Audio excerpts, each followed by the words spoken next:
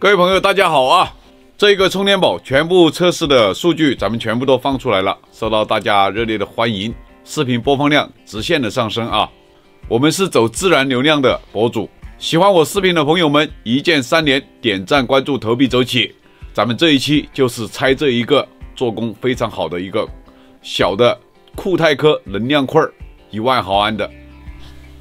首先，我们拆解的话，就是要找它的缝隙。从这里下手，我们找一个撬棒来把它撬开试一下。这外面这一层全是一些卡扣卡在这上面的，然后我们可以看到这个电芯，这上面还有胶粘在这个壳体上面。我们还要继续把它拆下来。这个充电宝的内芯全靠这上面有四个卡座卡在这个相应的按扣里面，放下去直接卡住。能量显示是一排 LED 灯，然后这一个是它的控制主板。这里有一个黑色的塑料支架，这是正负极的连接片，然后是两颗二幺七零零的电芯，给大家展示一下这一个充电宝内部的样子。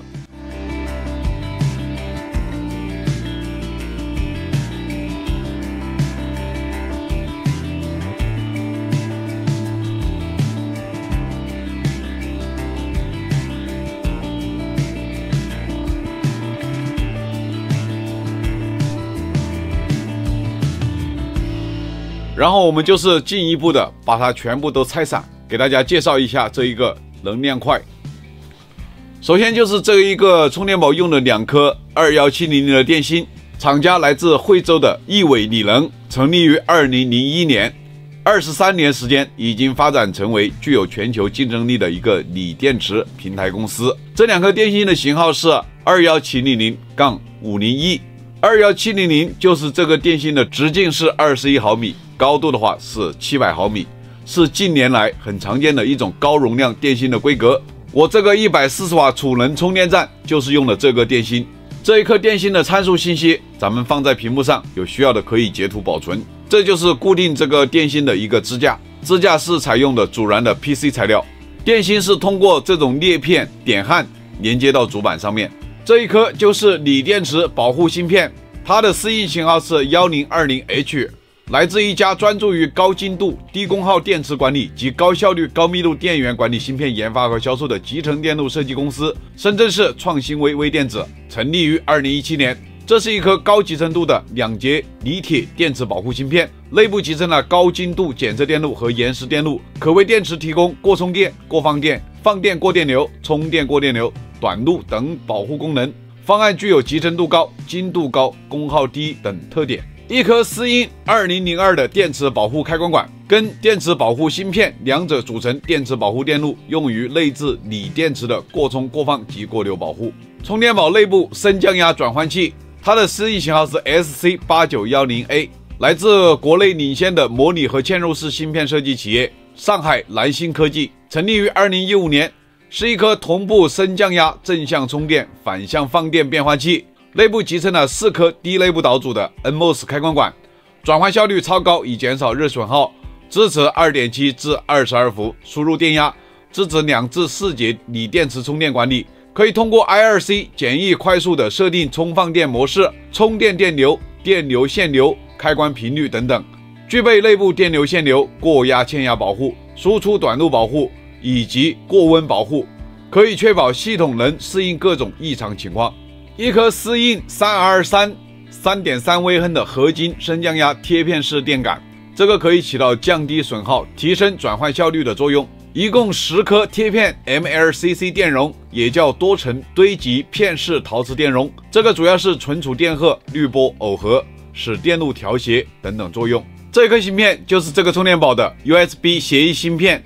来自一家感知、计算、控制连接于一体的全信号链集成电路设计企业——深圳星海科技，成立于二零零三年。这个芯片适应型号是 SAF 幺零，是一颗支持 USB Type C 的 PD 三点零协议的 USB-C 控制器，内嵌八位 MCU，支持 QC 四、华为 SCP、FCP、三星 AFC 等等多种快充协议，可用于移动电源。储能电源、车充、HUB 等领域。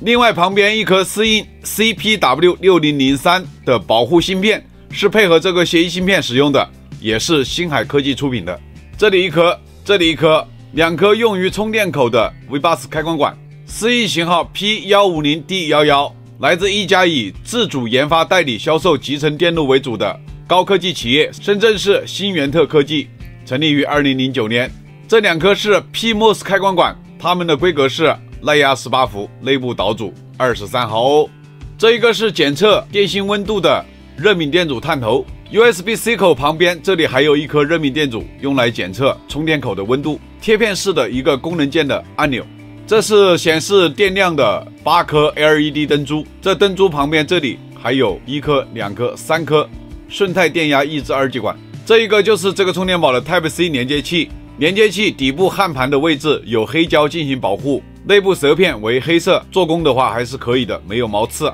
这一边是 USB A 的连接器，底部焊盘位置一样的也是打了黑胶进行保护，舌片一样的是光滑，没有毛刺。充电宝的外层壳体上面有 PC 阻燃材料的标识，另外一部分壳体上面一样的有 PC 阻燃的标识。这一片半透明的塑料为 LED 灯带显示条，这个是功能键的按钮部分。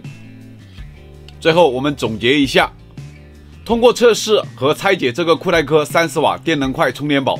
可以看到它的转换效率很高，容量的话不虚标，实际应用充满一个五千毫安的电池是没有问题的，甚至还有余电，功率也没有虚标，文波控制到位。内部芯片用料基本上都是一线品牌，做工可靠，便携小巧的外观，颜值也不错。喜欢我视频的朋友们，一键三连，点赞、关注、投币走起，你们的支持就是我更新的动力。谢谢大家观看，咱们下一期视频再见。